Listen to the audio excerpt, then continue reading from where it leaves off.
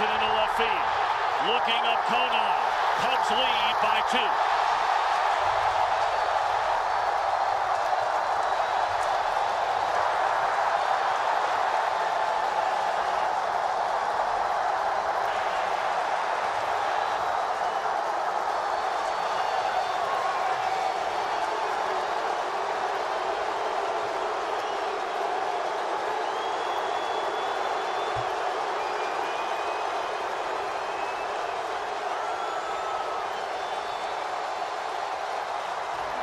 That's exactly what we're talking about. Thinking the other way, but a ball up in the strike zone, a hanger. Looked like a breaking pitch to me. Thinking opposite field, but getting fooled just a little and pulling the ball to left field for a home run.